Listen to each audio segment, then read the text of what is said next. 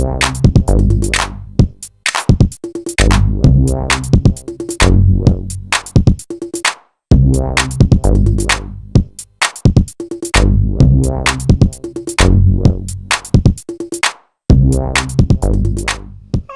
everyone, this is Arif Mars Communication. In this video, I'm going to show you how you can connect your BlackBerry tablet to internet to Wi-Fi connection. Especially if you have 3G, that option and the connectivity will be different. For Wi-Fi, this one, first you need to unlock your tablet.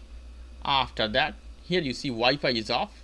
Here you have button of setting. Touch this one, or you can drag to.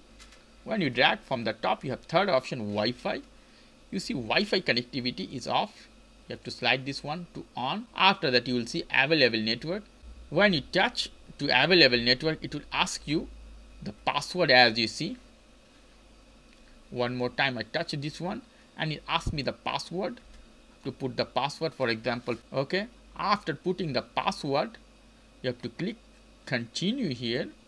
Now this is trying to connect to the network now.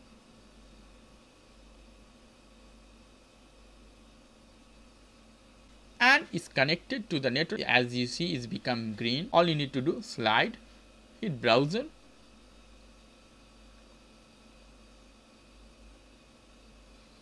I'm gonna hit Google